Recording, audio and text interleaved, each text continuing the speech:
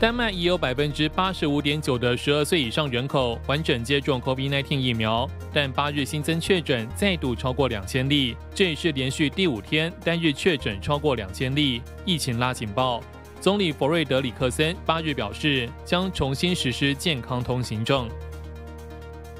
网络安全公司派拓网络十一月七日发布的一份报告称，自九月中旬起，全球有九个国防、能源、卫生、科技、教育等组织的电脑系统都已遭到外国骇客入侵，其模式与工具与中共骇客高度类似。这些网络攻击仅在美国就至少针对三百七十家机构，这些机构使用可能存在漏洞的 Zoho 伺服器。